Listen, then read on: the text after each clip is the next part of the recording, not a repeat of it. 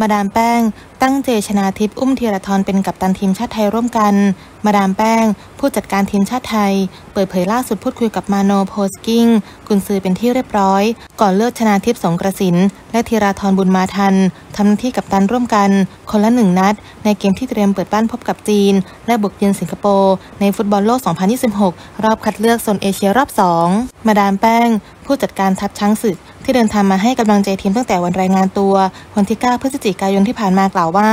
แป้งมีโอกาสพูดคุยกับน้อง ๆ หลายคน ทุกคนก็มีความมุ่งมั่น และพร้อมสู้เต็มที่ เพราะรู้อยู่แล้วว่า ฟุตบอลโลกรอบคัดเลือก เป็นรายการที่สำคัญและคนไทยคาดหวัง แน่นอนว่าเราก็อยากผ่านเข้าสู่รอบ 3 ให้ได้อีกครั้ง แต่ก็ต้องยอมรับว่าไม่ง่าย เมื่ออยู่กลุ่มเดียวกับจีน และโดยเฉพาะทีมแกร่งอย่างเกาหลีใต้ แต่ก็เชื่อว่าอะไรก็เกิดขึ้นได้ ถ้าเราทุกภาคส่วนร่วมแรงร่วมใจกัน จีนเป็นทีมที่แข็งแกร่ง มีอันดับโลกสูงกว่าเรา แต่ในฐานะที่เราได้เล่นในบ้าน และโดยเฉพาะสนามราชมังที่เราไม่ได้เล่นนานแล้ว ก็เชื่อว่าทุกคนพร้อมสู้เต็มที่เพื่อศักดิ์ศรีและเพื่อแฟนบอลชาวไทย ที่สำคัญล่าสุดปาโนโพกิ้งก็บอกว่าพร้อมสู้ชนิดแรกเลือดจริงๆ เพื่อคว้าสามแต้มแรกให้ได้ ทีมชาติไทย เตรียมประเดินเปิดบ้านพบกับจีน ในศึกฟุตบอลโลก